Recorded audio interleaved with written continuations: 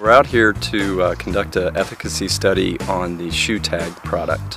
Shoo!TAG is a frequency barrier uh, for insect repellent. Dr. Reiner Fink, uh, Texas A&M University. I'm an associate professor in electronics and I'm an expert in semiconductor testing or small signal testing. So most products that are out there right now are chemical based. Uh, the, the, newer products on the market like the uh, tag that's, that's available from Thermacell, which is a small thermal device which emits uh, chemicals based on, uh, on a chemical reaction, a heat-based chemical reaction. And the off uh, clip-on tag, which is an electronic uh, dispersion method of chemicals. Um, this technology in and of itself is, is an advantage based on the fact that it requires no battery power, requires no butane, um, and it also will travel with the individual should the individual move. Most of the other technologies out there, once the chemical field has been built around, let's say, the Thermacell or around the, the, the off tag, um, once you move, that chemical field stays behind and you have to rebuild that field. This is an electromagnetic field and it should travel as sort of a shield around the person, irrespective of movement or wind direction.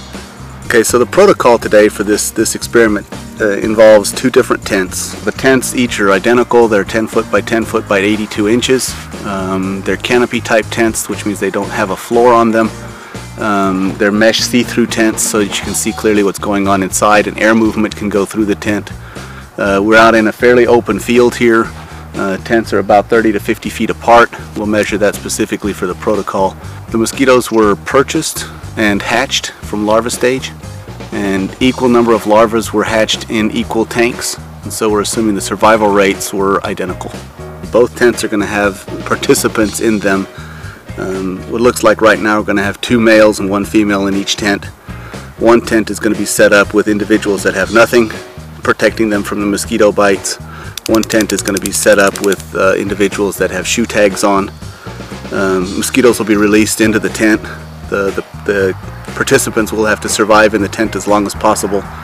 Um, once the, the preliminary experiment is done, those individuals that have the shoo!TAG on will release the shoo!TAG back outside the tent and will go back in to verify that the tag actually had an effect on, on the number of mosquito bites that they were going to get. Um, individuals will be wearing a mosquito suit and the only part that will be available for mosquitoes to bite should be the arms. And then the mosquito bites will be counted and, and cataloged so that we can get an identification of, of how effective the devices were. We did uh, get some volunteers, we're paying them a little bit of money and they are wearing tags. Uh, some of them are encoded and good and some of them are not. They don't know yet whether they have good tags or bad tags. I feel, I feel bad for them, but they volunteered. Now we know who works and who doesn't work. If you guys want to get together, working over here, non-working over here, we prepared for it last night, actually.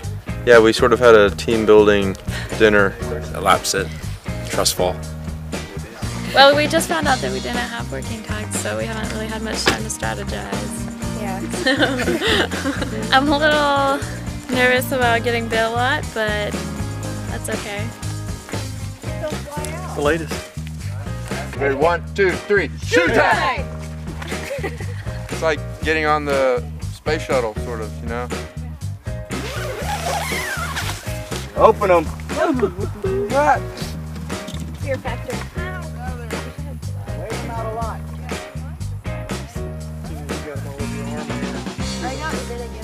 Just chilling with some mosquitoes. How are they doing over there? Are they getting eaten up? Look at my arm. Oh, yeah. Wow. See that? Look at that arm. Oof. I can't look at it. Yes, they're biting. Time's up. Everybody out.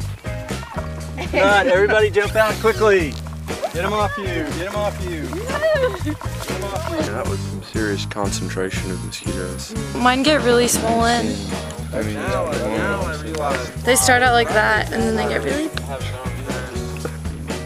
All right. Okay, we're done. Counting. Okay. And what we're going to do now is those individuals that were tagged when they went in the first time are now going to go back into the tent without the tags. And then we're going to see if there's any kind of a, a bias of mosquito magnet versus non-mosquito magnet kind of people.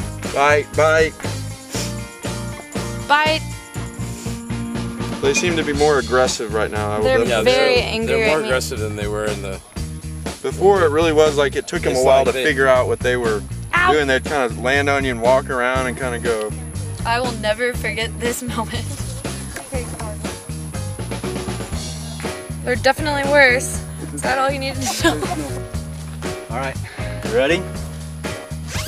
Come on out. Quick, quick, quick, quick. Shake them off, shake them off. Ah!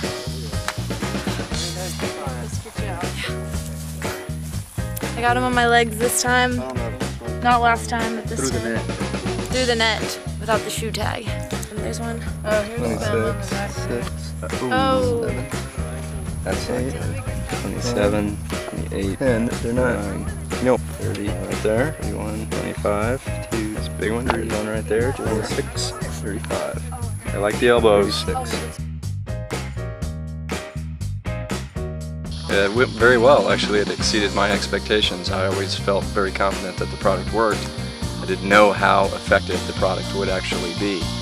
Again, as I stated earlier, no, no product is 100% effective, but I think once we run the numbers, we're going to see that um, the product significantly reduced the amount of mosquito bites on uh, the individuals. I think it was a good idea from Dr. Fink for the the people that were wearing the shoo!TAGs to take them off and go back in.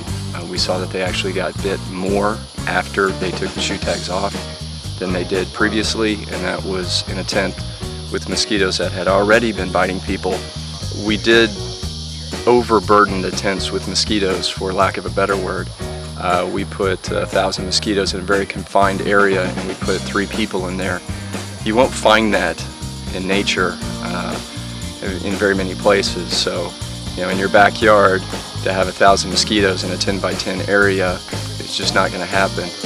Um, but again, very favorable results.